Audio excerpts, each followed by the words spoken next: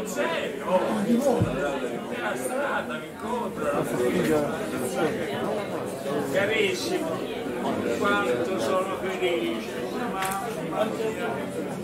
Badate, prossimamente tra me e lui, non più giovanissimi, ci sarà un intreccio d'amore sulla matematica, bellissimo, eh? Lo ricordi? Eh? Oh, faremo assistere, vi faremo assistere. Bene, io c'avevo la borsa però. Eh? Eh, ah, eh, attenzione, al borsa. Allora mi fa vedere la tua roba. Ti vedo tutti i giorni. Ti vedo tutti i giorni. Ma io voglio parlare con tutti voi. Ognuno ha una storia, ognuno ha un sentimento, però c'è un fatto. Io amato sempre molto gli altri, ma anche adesso gli, altri amano me. È vero?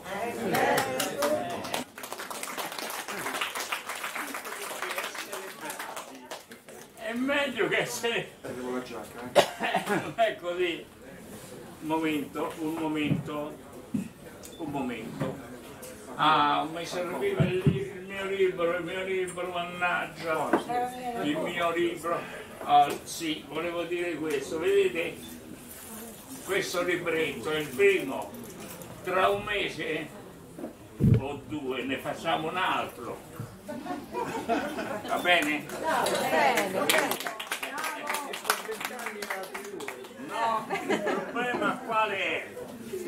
Attenzione, è vero Edoardo che in Italia la teoria dei numeri è spassata in secondo ordine rispetto alla geometria e l'algebra e. Non hanno fatto una scuola di teoria dei numeri. Allora io quando sono andato in pensione ho detto io adesso non vivrò di rendita sulle cose che sapevo, perché su quelle potevo benissimo. No, farò una cosa completamente nuova. E questa è una cosa completamente nuova. Per fortuna ho avuto la fortuna di trovare Ennio, che si è associato a me. Perché la fortuna di trovare Ennio? Voi dovete sapere che io sono cieco, cioè non riesco a leggere, eccetera. Una forma di cecità, insomma, non, non leggo le cose per esempio, che non sono inchiostrate, capito? Allora scrivo un libro da cieco e di, di matematica, ma ho trovato Ennio che mi ha sostituito in larga parte, insomma, capito? Le, eh, le idee ce le scambiavamo, ma poi era lui che scriveva, insomma. È una storia un po' strana, eh? È una storia un po' difficile, insomma. Va bene, allora adesso questo è il primo libro. La mia idea, ah, così forse Ennio lo sa, ma non completamente. La mia idea è questa, di fare una specie di garzantina. La garzantina, sapete cos'è? È un grosso volume che raccoglie 3, 4, 5.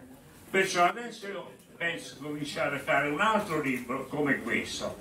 Poi un altro ancora, quando hanno 3, 4, hanno mille pagine, e diventa un'enciclopedia diventa. Perciò io spero che tra quest'anno e l'anno prossimo avremo fatto una piccola enciclopedia teoria dei numeri che non c'è nella letteratura italiana. Nella letteratura italiana c'è geometria e io ho scritto, c'è un libro mio, qui ci sono anche dei miei compagni, dove ci sono 100 teoremi. Sapete che significa 100 teoremi? È come uno che, che- che- solleva 2000 kg. È- è difficile. 100 teoremi. Perché poi i teoremi hanno le proposizioni, hanno i lemmi, hanno i corollari. Perciò diventano non 100 pagine, ma 200 pagine dipendono capite? E allora noi io spero e contando soprattutto per Ennio Petris che è una persona esemplare della matematica italiana perché io direi una cosa che non dovrei dirti va bene? che non c'è un altro matematico in Italia come Mario Fiorentini perché io sono un autodidatta sono un autodidatta. Hai capito? Se, che se viene cacciare qua impallidità di vergogna. Quello comunque. Cacciare. Cacciare ascolta. Lui dice guardate fino a 26 anni uno è un bravo e bravissimo. Poi diventa dice mi pare coglione non mi piace non mi piace lui dice dopo non fa più niente. Perciò dopo i 26 anni le cose belle ora è vero che ci sono stati dei geni che giovanissimi Mozart. Non sappiamo se arriveranno a 100 anni come me. Cos'era Mozart? Non lo sappiamo. Forse non faceva più niente era finito capisci? Eh, io invece eh, io invece ho, ho fatto eh, una cosa, scusate, l'unicum, guardate, nella teoria dei numeri, Ennio ed io stiamo studiando i numeri unici, il numero 1, che ce n'è uno solo, lo 0 è un unicum, è lo 0 non c'è altro, il 2 è l'unico pari, primo pari, l'11 è ta, il 12 è il primo numero, eh, numero, scusami, quelli ridondanti, i grassoni, i grassoni, il 2, capito? Il numero. Perciò io sul piano della matematica eh, sono un, un caso unico, capisci? E Ennio è un caso unico perché in un settore della matematica molto diverso dalla mia perché eh, tu lo sai i miei lavori sono diversi dai tuoi capisci? però lui nella sua specialità lui è, è, è giocoso è dei giochi lui fa la teoria dei giochi che è la magia teoria di giochi e magia. È la personalità più importante che c'è in Italia in questo tipo di matematica dove invece in America ci sono molti in altri paesi ci sono ma in Italia è l'unico.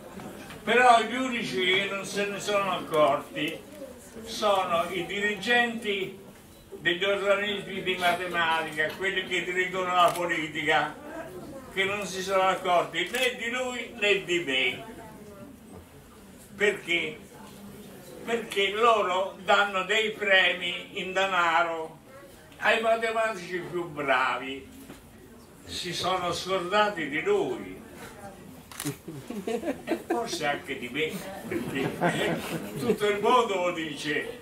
Se andate in Giappone, Mario Fiorentini, ti dicono che è se andate nel Vietnam vi dicono chi è, se andate in Polonia, se andate nel...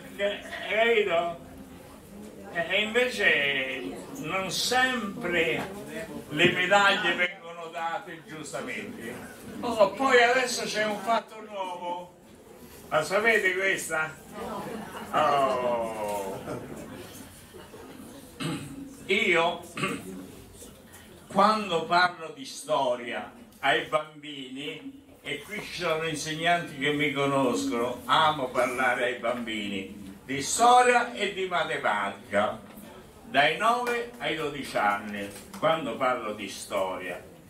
Agli insegnanti di storia gli dico sapete voi dovete mettere in evidenza tre fatti. La Repubblica Partenopea, Napoli 1799, è stato un momento della, dove è nata l'Italia, 1799. Poi la Repubblica Massiniana e poi la Repubblica Lega Nostra, eh, la Repubblica Nostra, sei d'accordo? Eh? Eh? E dico studiate queste tre cose. E studiate la Repubblica Partenopea, la grande intellettuale portoghese che hanno messo, hanno impiccato. Ma sapete come hanno impiccata? Eh? Quando l'hanno impiccata stava al patibolo e lei stava così, stava, dicono, sapete, se hai un pensiero, va bene? Lei ha risposto questo, sì, vorrei che mi coprisse la, la pisella. Guarda che è una cosa terribile, questa, questa grande patriota, la più grande patriota italiana degli ultimi 200 anni. Si preoccupa perché no, mi siedo una donna, mi siedo è, è, è importante, siamo tutti usciti là, eh, hai capito? Allora io dico, la Repubblica Partenopea, la Repubblica Massiniana, quando io sono scappato ai tedeschi saltando il coso, in via Cavoli Case, là c'è una lapide dove lì ha abitato Mazzini quando la Repubblica Napoletana ha abitato. Io abitavo nella casa di Mazzini. Oh, guardate ti fa venire i brividi addosso, no? Eh, ti fa venire i brividi addosso. Hai capito? E adesso la resistenza a Roma, badate, ma è un fatto importante, è un fatto grande. Non solo è un fatto grande, ma perché ve lo dico io. Ed è stato un fatto grande anche perché a dirigere questo fatto grande. C'era una ragazza di 18 anni, Lucia Tomrini, e un ragazzo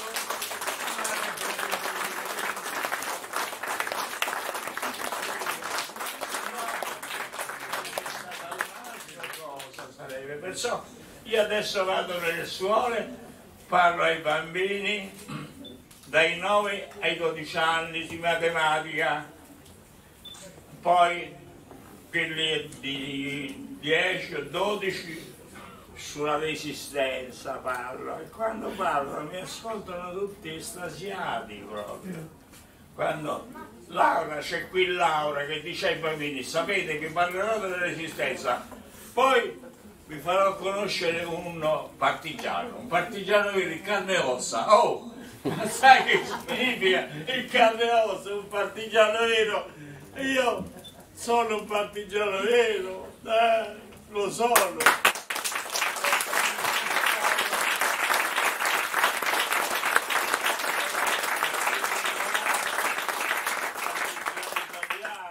stato in quattro carceri, avanzi di galera, sono stato anche qui a Regina Celi, al carcere di Regina Celi, ho dei ricordi qui tremendi, sette colpi di pistola, quel ponte che porta qui, mi hanno sparato sette colpi di pistola, se di questi sette colpi uno mi prendeva un ginocchio, io stavo sul ponte, che dovevo fare? Avevo ammazzato dei tedeschi, stavo sul ponte ferito, che dovevo fare? Mi buttavo nel forno, eh, ehm, che mi lasciavo in mano a, a, a, ai nazisti che mi, mi, torturavano e poi mi ammazzavano, no, mi ammazzavo da solo. Eh. Perciò, guardate, non è che scherziamo, la storia non si fa scherzando, si fa con la letteratura ma pensate a Dante Alighieri, pensate a Leopardi, sono storie grandi, sono storie grandi, capite? Capite? E anche la resistenza, anche la storia d'Italia è stata una storia grande. E allora la resistenza a Roma, il numero uno femminile era Lucia Ottobrini e aveva 18 anni, la prima che ha attaccato i tedeschi, la prima, lo dice un colonnello un, delle, un colonnello dello Stato Maggiore, dice la prima c'era Gioacchino Germondo, professore di filosofia, eccetera, va su nel suo istituto, dice bisogna salire sopra, da sopra, a Lucia e da qui attaccare i tedeschi. E Lucia è la prima che attacca i tedeschi. Aveva poco più di 18 anni, ma insomma, so, so, se no non veniva mica, guarda, se no oggi non avremmo avuto la medaglia d'oro a Roma se non c'erano alcune persone che hanno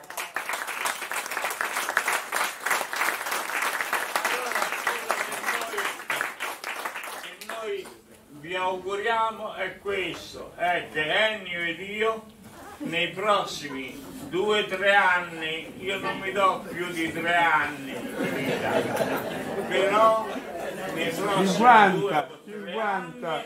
anni noi faremo delle cose importanti. Io lo spero, naturalmente, eh, poi dopo. Va bene?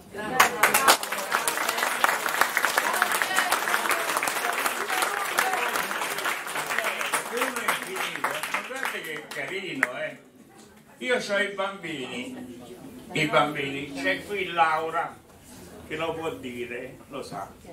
Allora, un bambino di 9, 10 anni, 11 anni, che cos'è lo zero? Va bene? Ecco. È un unicum, un unicum, è unico, è l'unico numero che non enumera. È chiaro? È l'unico numero che l'uno è numero. Hai capito? Poi è ha la numerosità dell'insieme infinito. Va bene? Poi la terza, lo zero e l'infinito sono gemelli. Allora Brunetto, il mio assistente, che ha 12 anni, ha 10 in matematica, 10 in matematica, hai capito? C'ha 10 in matematica, non c'è nessuno che c'ha 10 in matematica. Così, piccolo così, eccetera, un burretto. Allora, Brunetto salta su, ma professore che ci sta raccontando? Lei ci racconta delle stupidaggini. Zero e infinito sono gemelli, ma zero è un numero. L'infinito non è mica un numero, l'infinito cos'è? Capirai, l'infinito potenziale, l'infinito attuale, l'infinito assoluto.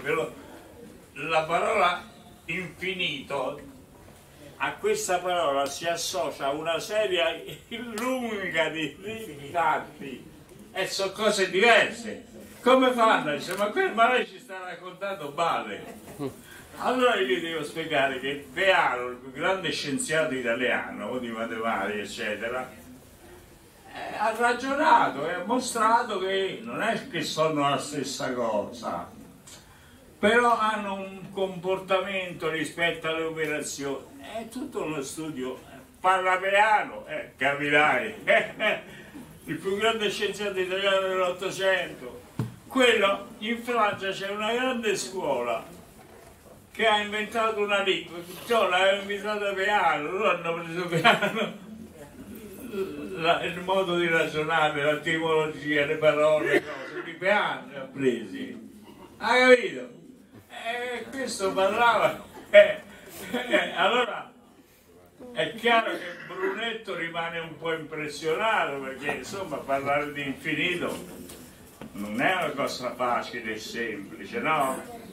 Eh, te lo ricordo, tu non sai cos'è l'infinito attuale e l'infinito potenziale, perché Archimede era per l'infinito attuale, non era per il potenziale, no, era attuale e potenziale, invece Aristotele era soltanto infinito potenziale, va bene? No, tutto questo è raccontato qui, ma come fosse un romanzo, capite tutto. Quando leggete questo, capite tutto.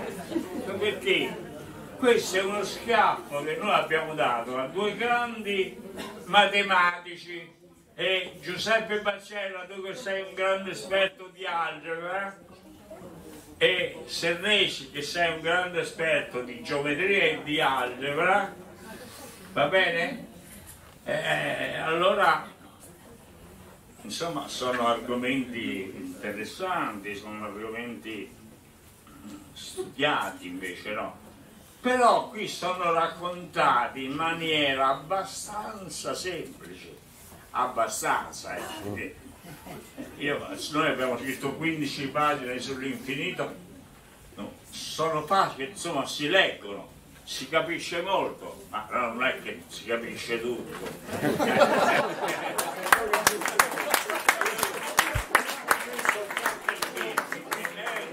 Ennio, Ennio e io siamo due presenze uniche nella matematica italiana. Io perché sono un autodidatta. Eh. Ennio perché fa magia, la magia, oh, un mago, fa la magia, lui è un esperto di magia, è un esperto di giochi, fa una serie di cose, tante cose, guardate su internet, quello che parla. Va bene? Io vi sto stancando? No. Volete che vi parli di altre cose? Eh? Eh, ma la matematica è bella, guardate, la matematica è una cosa bellissima. Io come l'ho capita la matematica? Avevo 13 anni, lo racconto, in una piccola libreria in via Rasella, piccola libreria. Trovo un libro e lo pago 5 lire. È un libro di Euclide che è, dopo la Bibbia è il libro più bello della storia umana. Perché fa la storia della matematica. Oh, la matematica dicono che la matematica è brutta eccetera. non sono pazzi qui non capiscono le cose essenziali. La matematica quando uno di noi chiede a Bacella chiede a Cernesi trova un teorema, sai che significa dare un teorema? Ma il teorema lo devi dimostrare. Quando tu fai un teorema e lo dimostri, alla fine hai una gioia che ti riempie l'animo. Io ho fatto 100 teoremi, ma alcuni di questi teoremi e uno dei più importanti l'ho fatto quando ancora non ero laureato in matematica capite?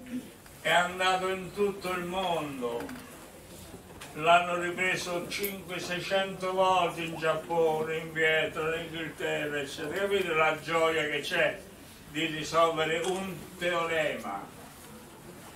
È vero un fatto, guardate, è una cosa importante. Leggete io ho fatto una cosa, scusate se parlo di me, ma è giusto che parlo di me. Eh, eh, su internet ho fatto 5 ore di matematica su internet. Ma è una cosa importante. Ma queste 5 ore si capisce quello che dico. Non è necessario che sei una specialista, capisci? Certi fatti si capiscono ed è bene leggerlo insomma no? perché io lì ho fatto i miei 13 maestri parlo dei miei 13 maestri io voglio dire a Bacella a Sernesi conoscete voi dei colleghi che parlano dei loro maestri che parlano dei loro eh, no la matematica no, chi è che l'ha fatta chi è che non è che riesce a sapere chi è bravo e chi non è bravo. E di fatti poi quelli che sono i padroni del vapore non danno riconoscimento a Ennio e non danno riconoscimento a me. Tanta gente non capisce, non sa. Ma noi glielo diamo eh?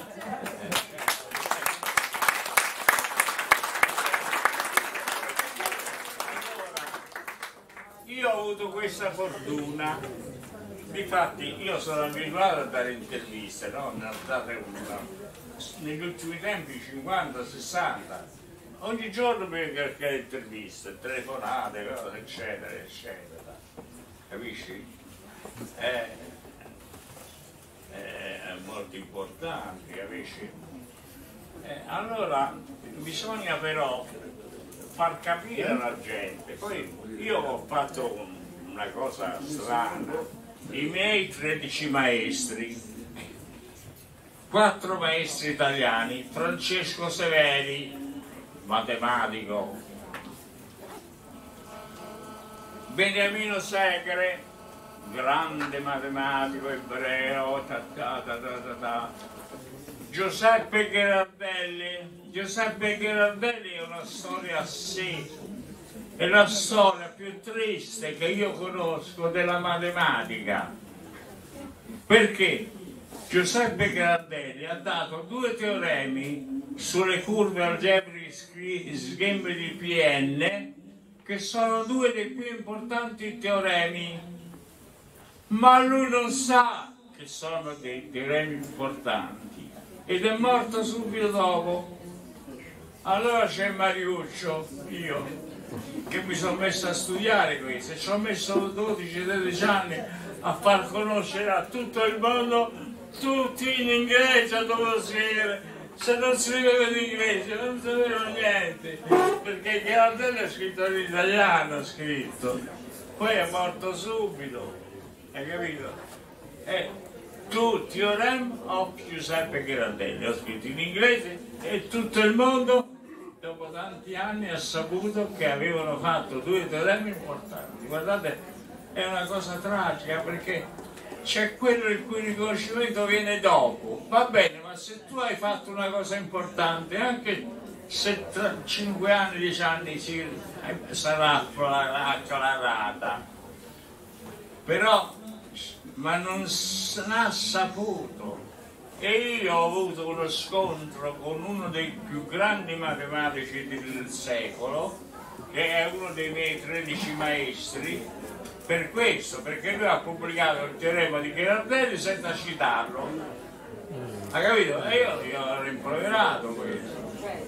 Lui però dice sa c'era la guerra e allora i rapporti non si conoscevano, io non lo sapevo. Si è difeso in questo modo, va bene? Però dite che smetto sulla matematica? Sì. Eh? Parlo della resistenza.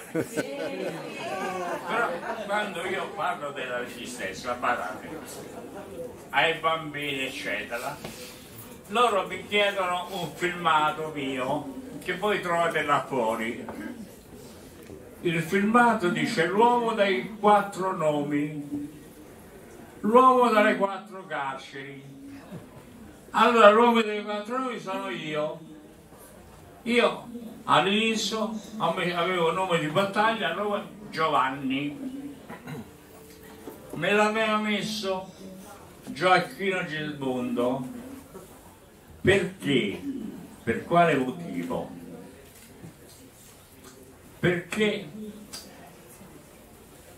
io sono stato il primo partigiano, cioè ho fatto la guerra partigiana col nome di battaglia di Giovanni, lui mi ha dato il nome, a me il nome di battaglia di Giovanni, che è un nome evangelico, a Lucia l'ha chiamata Maria, a Rosario Pettivigna l'ha chiamato Paolo, a Franco di Vento l'ha chiamato Pietro, ha preso i nomi dei, dei, degli apostoli, ma ricordate, i cappisti, i terribili cappisti romani avevano il nome degli apostoli, insomma è una faccenda comica, no? Eh, insomma è un po' strano, no? Ha avuto idea, io mi chiamavo Giovanni, poi dopo vado a un certo momento, Ganni, c'era una riunione, salta uno da una parte, Ganni, Ganni mi abbraccia, perché il secondo nome che avevo non so dove era Gandhi, Giovanni Gandhi.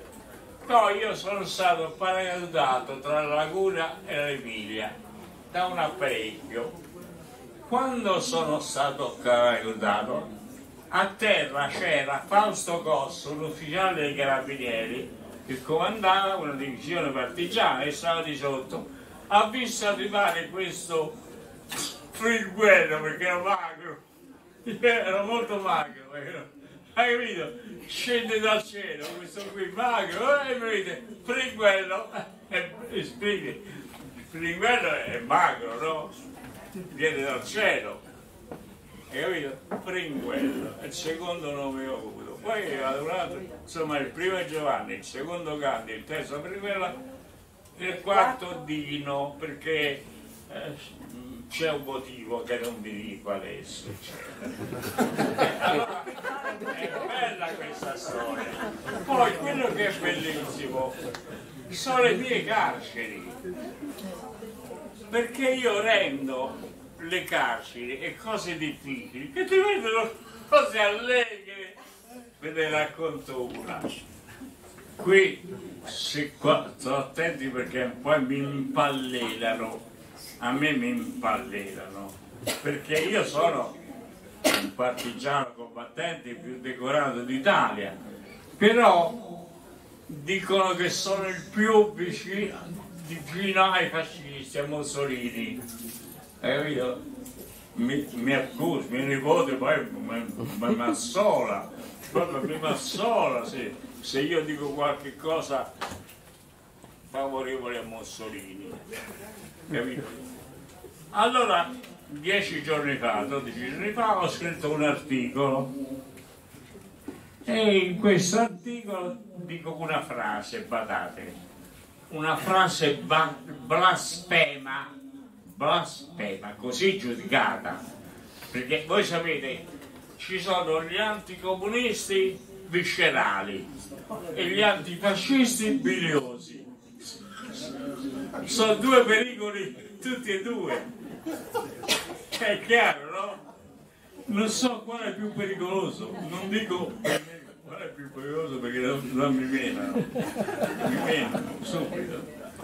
Allora, io dico questo, attenzione, Mussolini a un certo momento ha fatto un atto coraggioso, meritevole di lodi, quando lui ha mandato al Brennero le truppe per impedire che Hitler occupasse l'Austria. Hai capito? È stato un gesto molto pericoloso perché Hitler poteva farlo ammazzare un cane, ci voleva poco a far ammazzare. Mobilitava alcuni fascisti di quelli duri e lo voleva ammazzare. Io ho detto questa frase Mussolini ha fatto un atto coraggioso che va premiato, però francesi e inglesi non l'hanno capito e non l'hanno aiutato e si è trovato isolato Mussolini. Se non si fosse trovato in questa ciccetta, la storia avrebbe forse cambiato. La storia avrebbe cambiato, capito? Eh, eh, allora, insomma, la gente che ragiona anche sulla politica insomma la storia deve giudicare se è vero quello che dico io che Mussolini poi io dico un'altra cosa di Mussolini che riguarda me e Lucia. Io mi chiedono quando hai conosciuto Lucia? Allora io dico al tempo del fascismo c'era una bella iniziativa che in alcune piazze come Alpiccio eccetera suonavano dei concerti di musica eh, e lì c'era Lucia e la sorella che parlavano francese io siccome per me il francese è una seconda parte una seconda lingua eh, a un certo momento ho dato qualche spiegazione capirà tra me e Lucia si è acceso un fuoco subito, boom! Hai capito? E poi ci siamo rivisti a un concerto, allora io ho fatto un elogio del fascismo che faceva la musica in piazza a Villa Borghese, eccetera, che era una bella cosa, no? E che dicevo di male? Eh, che di male? No, non dicevi niente di male, hai capito? Allora subito, ah tu fai l'apologia del fascismo, hai capito? E adesso mi accusano che io sono un filofascista. eh, eh, sembra semplice, no? Sono cose semplici che potrebbero accadere anche a voi. Perciò io ho infilato due, due o tre cose, diciamo, in cui il fascismo insomma, che l'architettura fascista è stata interessante, innovativa rispetto a eh, questo lo sanno tutti gli architetti, eh, che c'è di male, che c'è di male, capito? Scusate se io salto di palo,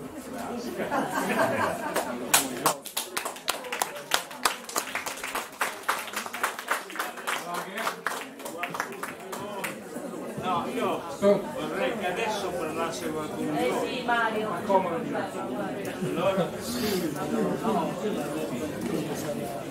allora comodissimo, caro, caro. Ma questa, Scusate se il questo sarà la storia della mia, mia vecchiaia, non sua, mia vecchiaia. È vero? Eh, eh, giovanile. No, questo lo dicono tutti. Chiamate Francesco. Io sono Ecco, ecco. giovanile, questo No, che? è acclarato, è vero? Allora, grazie Mario, grazie di essere Il primo microfono si è scaricato, scusate abbiamo dovuto cambiare. Parla di Lucia, parla di Lucia. Lucia è una persona. No, io intanto direi di eh, ringraziare tutti i presenti e di ringraziare intanto le persone che sono con noi, che parleranno di Mario. C'è il professor eh, Salmeri, direttore della rivista Matematica Euclide, che è una rivista per i giovani, una rivista di matematica per i Dai giovani. 9 ai 12 anni, quelli sono i miei E interessano. 9-12 anni. probabilmente cominceremo da lui, se Mario è d'accordo. Oh, c'è il professor Sandro Portelli, eh, direttore del Circolo Bosio, che fa un grande lavoro storico e che eh, ci parlerà. C'è la presidente nazionale dell'AMPI, Carla Nespolo, che è venuta. Eccola, ecco Carla. Oh, dell'AMPI ci sono i partigiani romani che eh, sono venuti anch'essi ad abbracciare con affetto eh, il nostro Mario. Dell'Ampi sono venuti diversi compagni, in realtà è venuta eh, Vania, Vania Bagni che è la presidente dell'Ampi di Firenze e della Toscana, vicepresidente nazionale, è venuto Piero Cossu che è dell'Ampi della Sardegna e vicepresidente Cossu, sì. Cossu, ne parlavi prima di Cossu, eccolo, e c'è il compagno Patrick Zuliani dell'Ampi del Friuli Venezia Giulia, è venuto, anche lui del Comitato Nazionale, la compagna Floriana Rizzetto che è la presidente dell'Ampi di Padova e del, da tutta Italia, eh, la compagna Aria Filosa che la presidente dell'Ampi di Latina, perché adesso abbiamo rifatto l'Ampi anche a Latina, e eh, Vincenzo Calò che è il responsabile dell'Ampi eh, meridionale, coordinatore delle Ampi eh, meridionali. Oh, c'è Sara Modigliani, anche lei del circolo Gianni Bosio, c'è la nostra Tina Costa no? del Comitato Nazionale. Oh, ci sono fuori, avete visto dei libri, l'ultimo cappista su Mario di eh, Mirko Bettazzi, che è di recentissima pubblicazione, il libro che è uscito oggi di matematica di Mario, questo libro 1-0 infinito, dovete portarlo in tutte le scuole perché fa conoscere la matematica ai giovani e ai bambini è una grande cosa perché tutto dipende dall'inizio. Perché c'è in una parte della popolazione per fortuna che sta diminuendo di dire la matematica è ostica la matematica è astrusa perché? perché hanno cattivi maestri se hanno, a me io ho insegnato tutto ma mai a uno che è venuto a dire la matematica è ostica, è difficile, eccetera. Andate, c'è qui la mia compagna dell'Università di Bologna, no? Ma. Sì, Mirella, Mirella Manareci, l'ho conosciuta perché non era, era studente, non era ancora. Adesso sono un vecchio professore, no? Vecchio. Una bambina. Perciò mi conosce bene, poi è più giovane adesso che allora. Eh, sai che stai benissimo, veramente.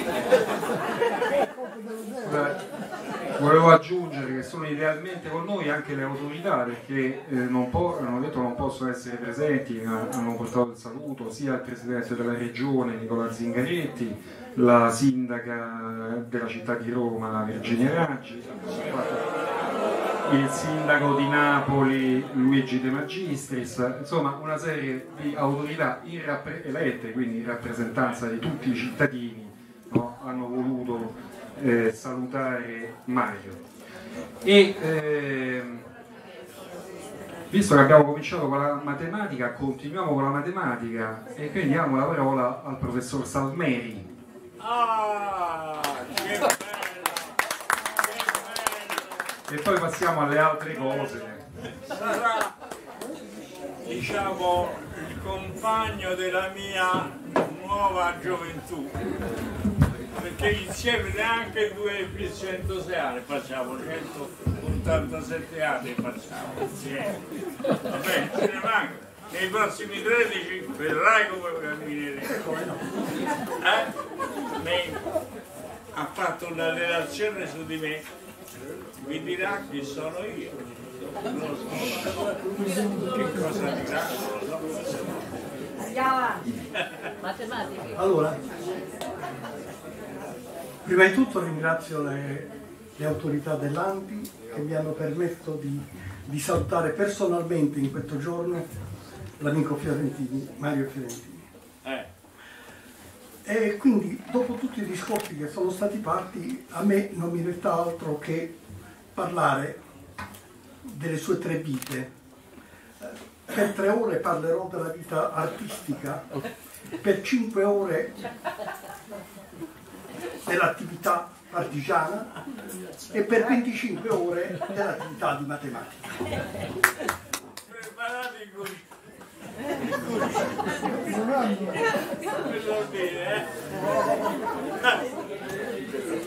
È vero, è vero. No, forse, forse non c'è il tempo per fare tutte queste cose e allora io ho pensato di fare normalmente quando uno fa un compleanno, un compleanno, specialmente un compleanno così importante, si fa un regalo. Ma che, che regalo si può fare a una persona come te che ha vissuto tanto, ha dato tanto a tutti, tutti quanti? Allora l'unico regalo, siccome io sono direttore di una eh, rivista di matematica per i giovani, perché cerco di Per aiutare- giovani, per perché noi, cerco eh? di aiutare i giovani, allora ho voluto dedicare un numero di questa, eh, di questa rivista al- all'amico Mario Ecco, ed è questa che io do. Che cosa c'è in questa rivista? Quindi questa è tutta dedicata, è tutta dedicata a lui e ci sono praticamente i pensieri, eh, di- le testimonianze di affetto, di stima di tutte le persone che lui ha conosciuto.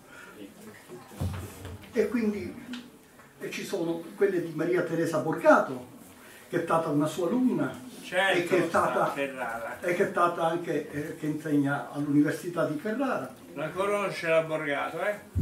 La moglie di Poi- Pepe. di un certo Fabrizio De Santis, che non so chi sia. Ah, sì, no. Eh, alle mie spalle, mi Poi- copre le spalle, un ricordo- dipende dagli attacchi. Un bellissimo ricordo di Michele Enner che eh, risale all'amicizia tantissimi anni fa. Poi c'è un video, perché eh, nel sito basta cliccare questo qui e c'è un intervento in una mia conferenza fatta presso la Matesis e quindi c'è tutto l'intervento suo, non, non c'è la mia conferenza. Ecco, eh, te lo farò vedere. Poi c'è un pensiero di Franco Ghione che insegna all'Università non c'è. Tor Vergata. Poi ci sono poi ci sono i ricordi di due insegnanti del liceo Cavour, dove tu andavi a parlare con i giovani, eccetera, e sono la professoressa Serena Marini e il professor Luigi Narducci. Questi hanno scritto tutto un ricordo che me l'hanno mandato e io ho pubblicato. Io ce n'ho tante. Poi ho-. Mica vi ricordo tutti, eh. Neanche a voi. No, no, c'ha poca memoria. Poi c'è una, una bellissima intervista fatta da Pietro Anastasi che ho voluto riprodurre qui. Poi c'è un intervento del professor Luigi Pepe dell'Università di Ferrara. Bene, grande amico napoletano, Poi- storico, Poi c'è un intervento di Alessandro Portelli che però non me l'ha mandato lui. Un intruso. Praticamente, siccome eh, non aveva tempo ed era in viaggio, ed era in viaggio, così mi ha scritto, allora io l'ho ricavato dal suo bellissimo libro, ho ricavato tutte le frasi che riguardavano Mario Fiorentini e quindi ho fatto un intervento di questo genere. poi non vi lascio spazio. Infine,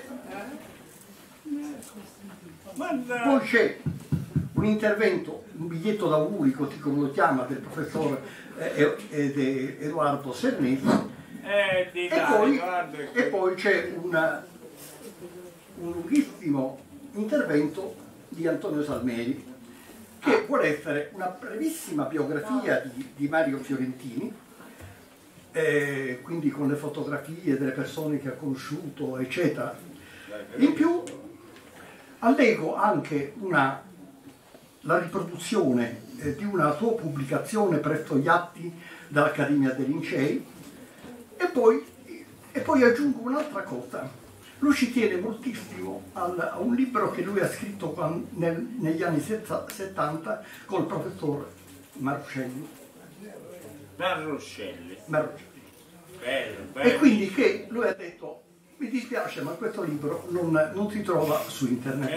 Quindi avendolo, avendolo pubblicato quest'opera, adesso tutti quanti possono venirlo a conoscere. Certo, perché Quindi questo-. Ecco, questo è il- l'omaggio che io ti faccio, dove c'è anche, anche questa, questa cosa.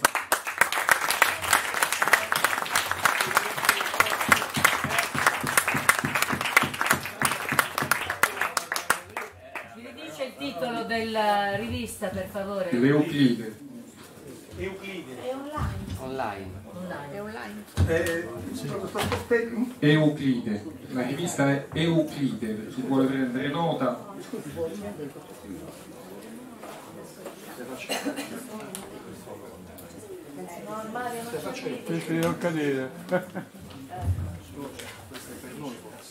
Ah, questo è il, è il condensato. Il condensato. È carino.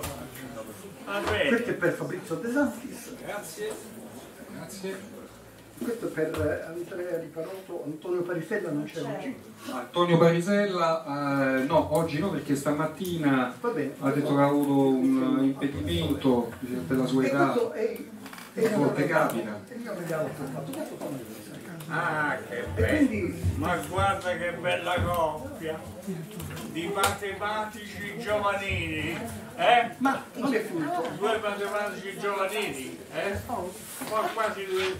Siccome lui ha fatto moltissimo per i giovani, Ah, Euclide, la scelta, eh, il giornale di matematica per i giovani, ha voluto destinare a lui una pergamena. Una pergamena.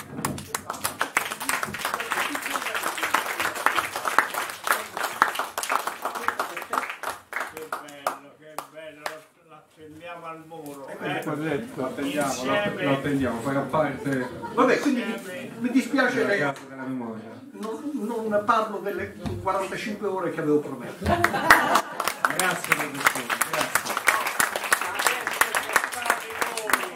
Adesso, adesso ci avviamo a cambiare argomento. Canto una canzone e poi parla lui. Canta, canta. Diamo la parola a Sara Modigliani che ci introdurrà a un altro argomento. No, l'argomento è lo stesso, Ah, bene perché questo, il facciamo un canto partigiano io le collezioni che poi È Il canto partigiano Hai visto che è molto importante e, e molto bello. No, se parla al microfono poi non posso cantare al microfono. cioè, Mannaggia, è vero, di là. Eh vabbè, allora eh, facciamo un canto scritto eh, da... Le parole sono di Italo Calvino, che è stato partigiano nella brigata alpina e, e la musica... E la musica è di, eh, di Fiorenzo Carpi. bene. Eh, allora, si intitola Oltre il ponte. Oh ragazza dalle guance di pesca, oh ragazza dalle guance d'aurora, io spero che a narrarti riesca la mia vita all'età che tu hai ora. Copri fuoco la truppa tedesca, la città dominava, siamo pronti. Chi non vuole chinare la testa, con noi prenda la strada dei monti. Avevamo vent'anni ed oltre il ponte, oltre il ponte che in mano nemica, vedevamo l'altra riva la vita, tutto il bene del mondo oltre il ponte, tutto il male avevamo di fronte, tutto il bene avevamo nel cuore, a vent'anni la vita